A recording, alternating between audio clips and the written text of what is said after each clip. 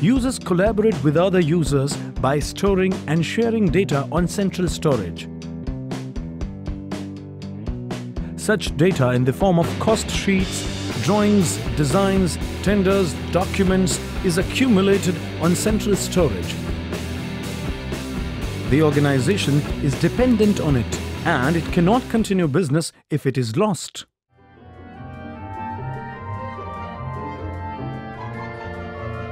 What if the storage is attacked by ransomware? Here you go. Ransomware can encrypt all the data and make it unusable. Enterprise seriously needs the capability to recover data after ransomware attacks.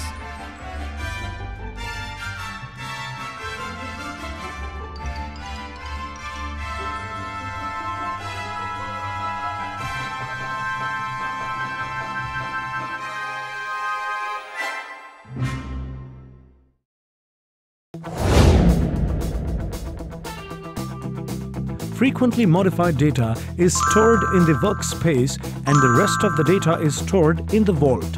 Data in the vault is bit-locked. It cannot be modified by the user and the user can work on a copy of data from the vault.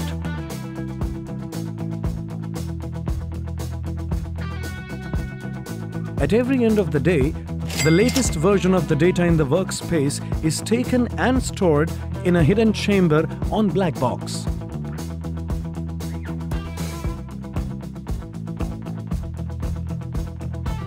In event of a ransomware attack, vault data will not be affected. The data in the workspace will be destroyed.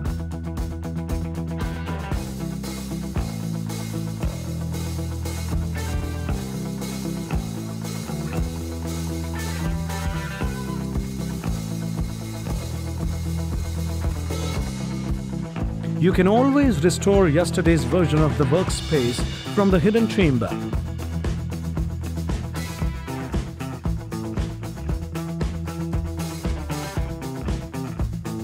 That's how enterprise can maintain business continuity after the ransomware attack.